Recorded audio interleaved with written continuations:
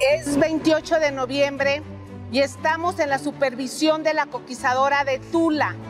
Esta es la planta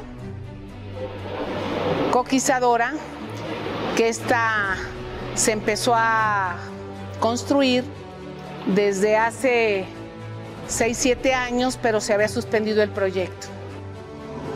La coquizadora va a tener cinco plantas auxiliares. Ya está todos los racks donde tiene que ir la integración. Está la cimentación de las plantas que están levantando. Están subestaciones eléctricas que también se están construyendo.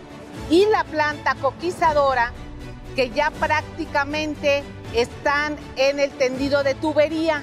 Este proyecto es el que se integra a la refinería de Tula, nos va a dar más gasolina, nos va a dar más diésel, la rentabilidad de la refinería aumenta sustancialmente, que también le ayuda muchísimo a la economía en Pemex, la economía en México, tener nuestros combustibles.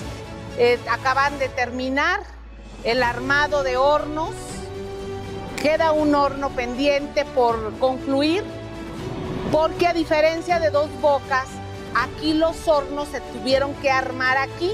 En dos bocas pudieron llegar los hornos eh, directamente de armados de la India y de Tailandia, que fue donde se pidieron. Eh, vamos a pasar imágenes de cómo se está moviendo o cómo se está construyendo, más bien dicho, eh, toda esta obra para concluirla el próximo año tenemos que apurarnos a finales para tener este proyecto pues en las pruebas y en los arranques. Están trabajando, tenemos aquí actualmente más de 4 mil trabajadores y eh, seguimos trabajando. Secretaría de Energía. Gobierno de México.